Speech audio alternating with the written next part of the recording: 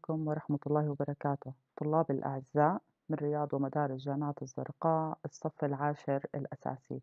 يسرني أن أقدم في هذا العرض لحصة الحاسوب آه، آه، اللي هي مادة عندنا قواعد البيانات الأكسس. آه، طبعا إحنا أخذنا قبل هيك المقدمة لقواعد البيانات عرفنا شو يعني قاعدة بيانات من إيش بنتكون إيش هي استخداماتها.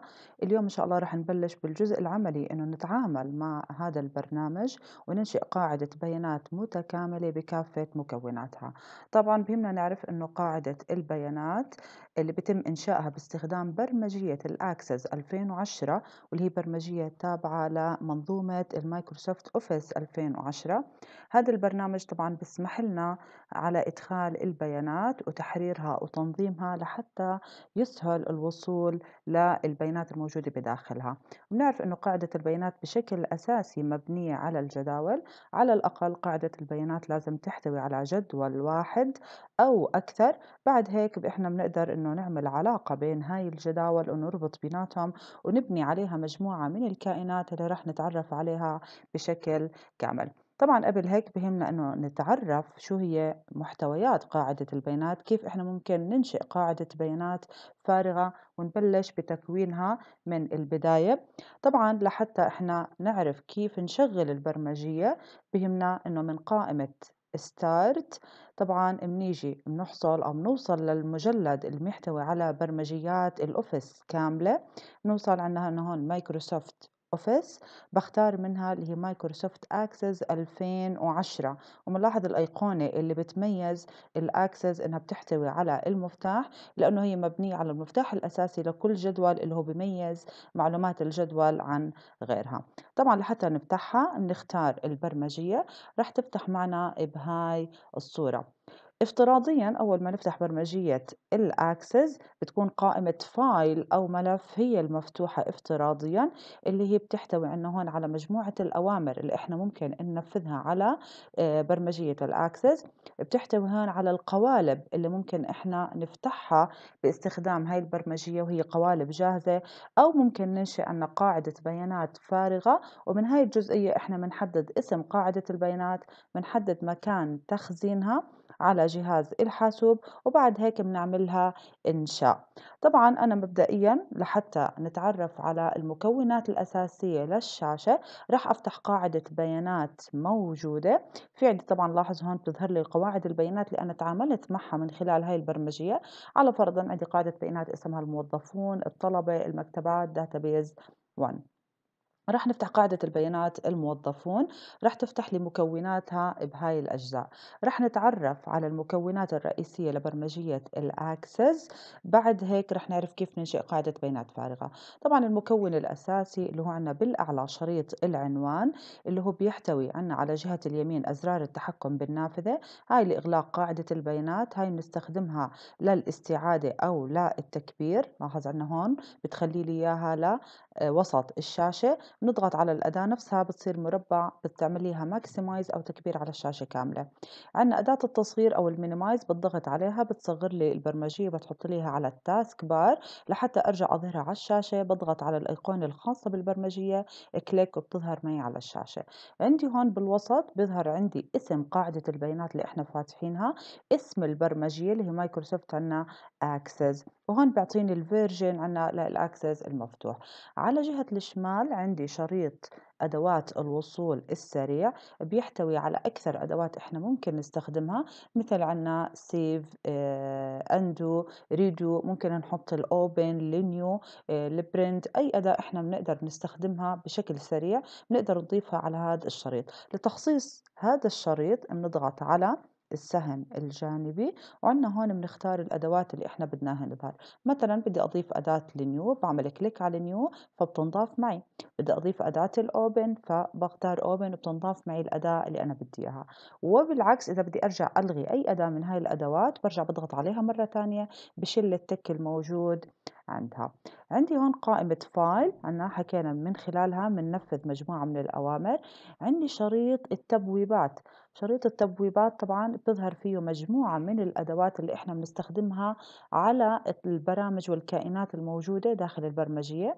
عندها تبويب هوم وهي الأدوات الموجودة بداخله. create اللي هي إنشاء بنستخدمها طبعا لإنشاء الكائنات اللي إحنا رح نتعامل معها خلال ال database. ال external data اللي هي إحنا إذا بدنا نصدر أو نستورد كائنات. ال database tools واللي هي بهمنا ال relationships منها بناء العلاقات بين الجداول. عندي هذا الجزء بنسميه جزء التنقل بيظهر الكائنات الموجودة داخل قاعدة البيانات. طبعا كل الكائنات مقسمة لهاي الكائنات بهمنا نتعرف إيش هي أهم الكائنات اللي إحنا ممكن ننشئها باستخدام قاعدة البيانات. عندنا ال tables أو الجداول.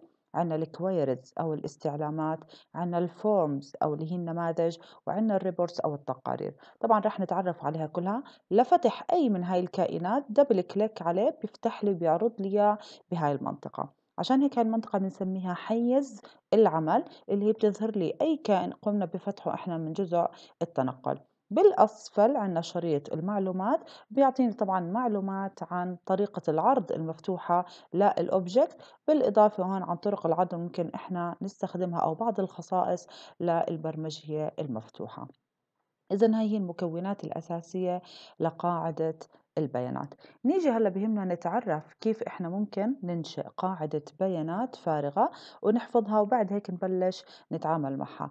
لحتى أنشئ قاعدة بيانات فارغة سواء من قاعدة بيانات فاتحتها أنا وعم ببلش أتعامل معها وبدي أنشئ قاعدة بيانات فارغة منها باجي لقائمة file تمام؟ وبختار new أو إذا أنا فتحت التطبيق مباشرة رجعت من قائمة start وصلت عنا للمايكروسوفت عنا Office واخترت عنا ال Microsoft Access رح يفتح معي بهاي الصورة.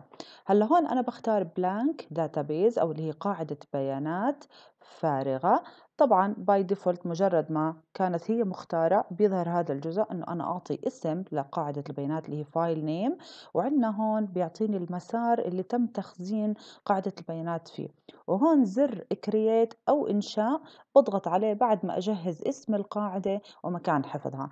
على فرضا إنه أنا بدي أسمي قاعدة البيانات عنا طلاب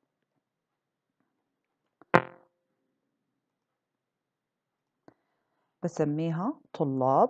عندي هلأ هون لحتى أغير مسار حفظها على فرض أنا بدي أحفظها على ال desktop أو على ال C أو على ال D بضغط على المجلد الموجود عندي هون بروح بحدد مكان قاعدة البيانات. هلأ بتظهر معي شاشة الحفظ.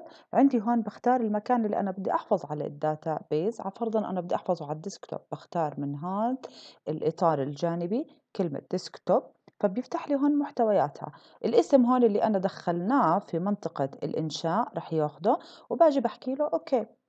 صار اسمها طلاب dot ACCDB اللي هو امتداد أي ملف قاعدة بيانات بستخدمه أو بنشئه باستخدام ال Access. مجرد ما حددت مكان الحفظ أنا سميتها بعمل له create مجرد ما عملنا create رح تنشئ معي قاعدة البيانات بهاي الصورة. لاحظ اللي هي المكونات الموجودة في أي قاعدة بيانات إحنا بدنا إياها.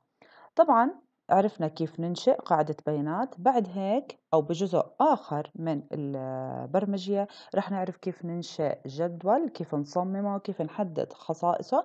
لكن هلا بهمني عرفنا كيف ننشئ هلأ إذا بدي أنا أفتح قاعدة بيانات أصلا موجودة وأنا فاتحة البرمجية بنختار من الأمر file عنا بختار open في عنا أكثر طبعا من طريقة لتنفيذ أي أمر.